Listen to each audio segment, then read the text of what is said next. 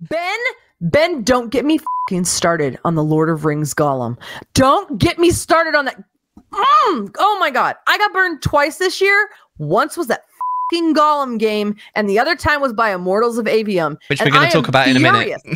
I am never, I am never pre-ordering a game Ever. on PlayStation ever again.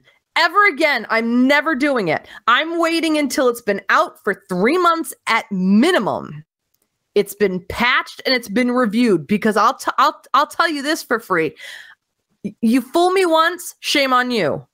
Fool me twice, shame on me. And I've been fooled twice this year, and it's uh, it's over. I should never have pre-ordered Imm- Immortals of Aveum. I should have waited but I didn't because I wanted a first person shooter to replace Destiny with, and it looked pretty. Mm. Consider yourself chattisfied.